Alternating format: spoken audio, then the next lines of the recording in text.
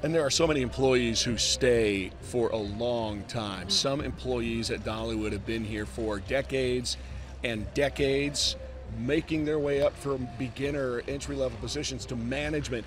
We're going to talk about one of them for you who's been here for more than 30 years. Robin Bailey has been working at the park for 35 plus. She started baking the cinnamon bread in the grist mill that Nice. Brittany's eaten almost all of today, I've and she also in works in group sales. She has no plans to retire. She loves it here.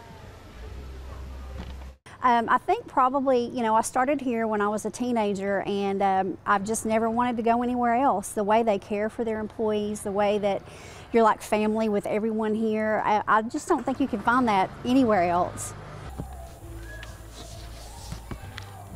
And one of the neat things, people who've been here for 30 years or more, the people who've been here for 30 years or more get a special personalized plaque, a sign in the park with unique things about them and the jobs they've worked in the park. So they really mm-hmm. try